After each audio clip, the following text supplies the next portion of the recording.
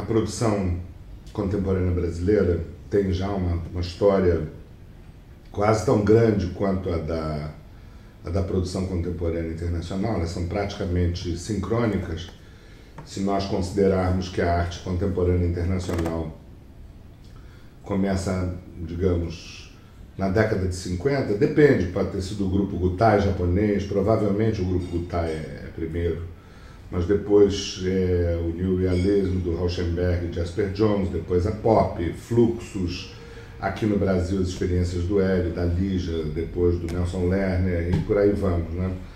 Então a produção contemporânea brasileira é uma produção que é praticamente sincrônica, é, embora tenha suas próprias questões, com o surgimento da arte contemporânea internacional, ela, ela, ela portanto, tem, apesar dessa sincronia, ela tem é, determinadas questões que vão sendo construídas, seja pelo discurso dos artistas, seja pelo discurso da crítica, dos curadores, seja por uma articulação entre esses discursos. A arte contemporânea brasileira tem, por exemplo, uma vertente que ficou marcada pelo experimentalismo de origem não concreta e de sua manifestação na nova objetividade brasileira, a qual se somou o Valdemar Cordeiro, por exemplo, com seus palcretos, quer dizer, essa genealogia é, da produção artística brasileira, ela, ela é sempre a mais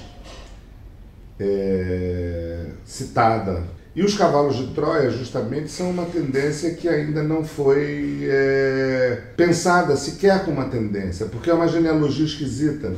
Toda árvore genealógica começa de um tronco, depois ela se abre em galhos.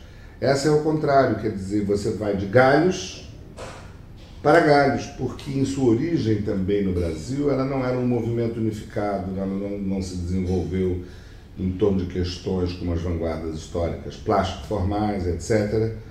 Então, na verdade, esses cavalos de Troia, apesar de terem diversas origens e até hoje ramificações diversas, eles têm algumas características comuns. Né?